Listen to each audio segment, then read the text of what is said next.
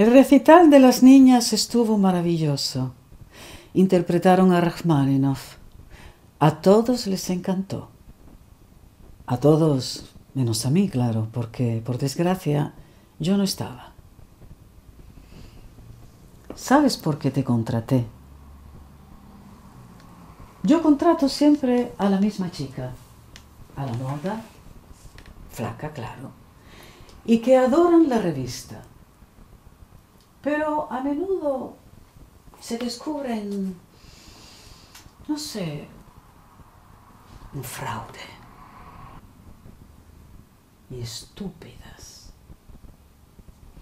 Pero tú, con ese currículum impresionante y el discurso sobre tu gran valiosa ética profesional, pensé que podía ser diferente.